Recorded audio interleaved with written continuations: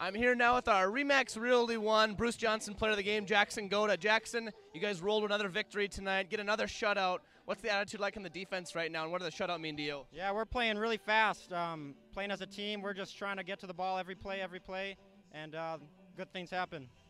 Your offense put up 48 points tonight. How key is that for you guys, the defense, knowing that your offense is going to go out there and put up points for you guys? That take the pressure off? What does that do for you guys? Yeah, we're just we get them the ball, they score. We get them the ball, they score. We're just trying to put as many teams, get the life out of the other team real quick. You get a big win over a rival Brainerd tonight. What does it mean for you to beat Brainerd, especially at home here at Jim Gotta Stadium? Yeah, I've been to a lot of Brainerd games where it's the other way around, Moorhead's getting beat, so it's always feels good to give a, a nice punch to Brainerd. You guys improved to 5 and 0 now. Next week you take on Bemidji here on Wednesday. What are you looking forward to in that one with another rival school in Bemidji? Yeah, Bemidji's fun to play. Uh, they have a fun offense, and it's going to be a fun game.